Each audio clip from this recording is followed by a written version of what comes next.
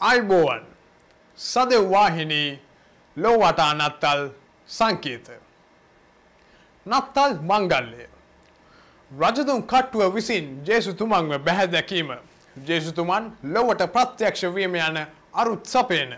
දේව විශ්කරන හා ඊශ්වර සංක්‍රාන්ති මංගල්ලය ලෙසින් ජේසුස් ක්‍රිස්තුස් වහන්සේගේ උපන් මංගල්ලය. මුල් කාලයේදී සමරනු ලැබුවේ නැගෙන හිර සභාවයි.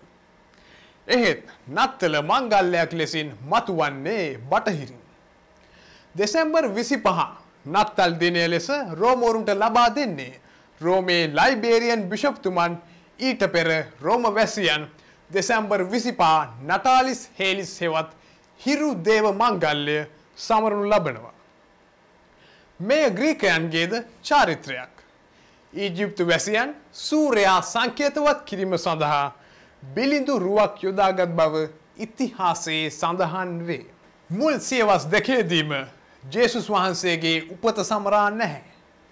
ක්‍රිස්තු වර්ෂ තුන්සීයේදී රාජ්‍ය අනුග්‍රහය ලැබූ මුල්ම ක්‍රිස්තියානි සභාව ජේසුස් වහන්සේගේ උපත හෙවත් නත්තල ප්‍රීතියෙන් සමරා ඇත.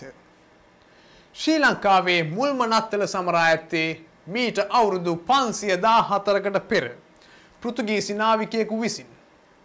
ඒ කොළොම්තොට ආශ්චර්යයේ අප ස්වාමිදූගේ දෙව්මැදුරේදී. ඒ දුගියාට දන්දුන් නත්තලක්.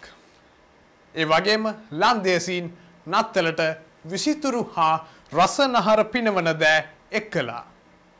ඉංග්‍රීසින්ද ඊට නොදවිනිසේ නත්තල සැමරුවා.